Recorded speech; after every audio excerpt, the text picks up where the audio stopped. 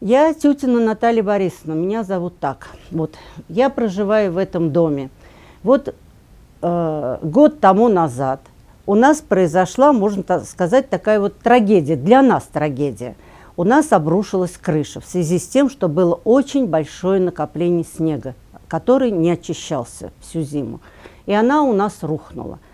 Когда начал, начался снеготаяние, вся вода потекла к нам в квартиру мы стали жаловаться в управляющую компанию, в прокуратуру, в жилищную инспекцию. Ну, уже я даже не могу вам перечислить, куда мы только не обращались. Мы пишем им, они пишут нам. То есть одна писанина идет. Дел никаких нет. По сей день у нас вот такая картинка. У нас течет с потолка, падает у нас штукатурка. Вот у нас сырость, у нас холод, у нас влага, у нас маленькие детки, трехлетние, которые постоянно болеют. Один заканчивает, другой начинает. Один заканчивает, да начинает, потому что у нас все время сыро здесь. У нас сыро.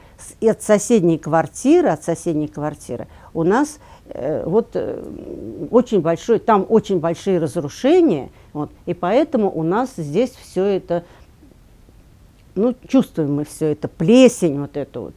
А мы подавали в суд на управляющую компанию, чтобы нам возместили э, ущерб вот этого разрушения и на ремонт крыши. Мы суд выиграли. Вот.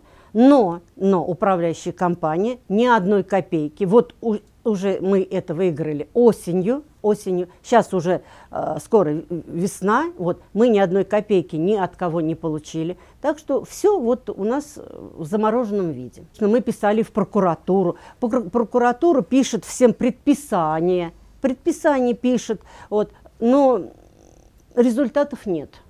Одни только предписания, одна только писанина.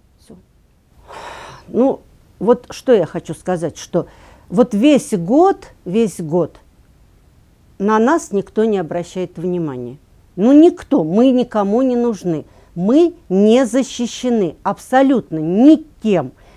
Вот наше правительство все время говорит, мы сейчас работаем на благосостояние нашего народа, чтобы нам, нашему народу жилось хорошо, чтобы им было комфортно – мы не видим этого. Я не, не вижу, я вот, например, на своей семье этого не ощущаю.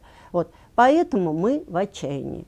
Сейчас надежда. Вот последние обращения, которые мы делаем, вот это вот, значит, сейчас. Вот.